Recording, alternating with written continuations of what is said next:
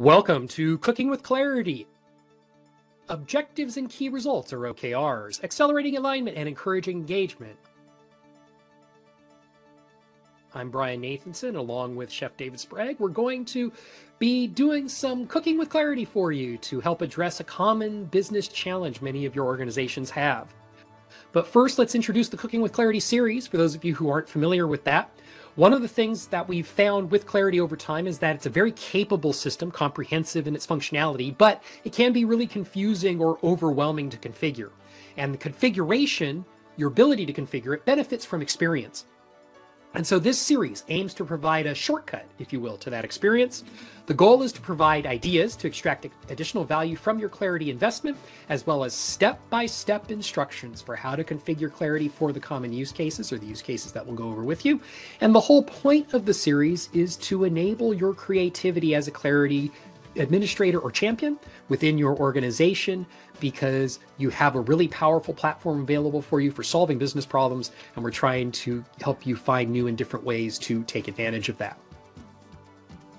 So, in each Cooking with Clarity session, we have two phases. The first is to present the finished dish. So, in other words, why would you want to do what it is we're about to show you how to configure, right? And then the second stage is the comprehensive step by step recipe for how to make that dish right? So that's what we're here to do.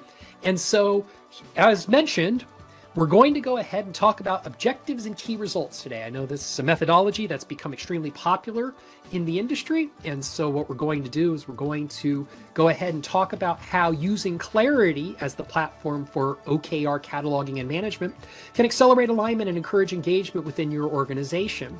And toward that end, we have prepared a nice four course menu for you. The first course is to motivate and challenge stakeholders by co- configuring objectives in the solution and getting a catalog of objectives across the organization. The second course is to measure the progress by configuring key results or getting key results into the solution. The third course adds some sizzle to that steak by using visual widgets to see the aggregated roll up of progress and fulfillment on key results and objectives. And then finally, certainly last but not least, the fourth course is how you can help align business and engineering by integration between the Agile solution and your investment management solution clarity.